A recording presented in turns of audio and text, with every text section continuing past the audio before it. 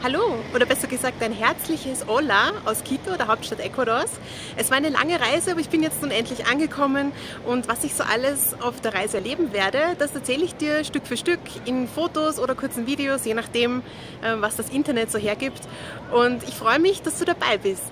Also in diesem Sinne bis bald und viel Vergnügen bei den ersten Bildern.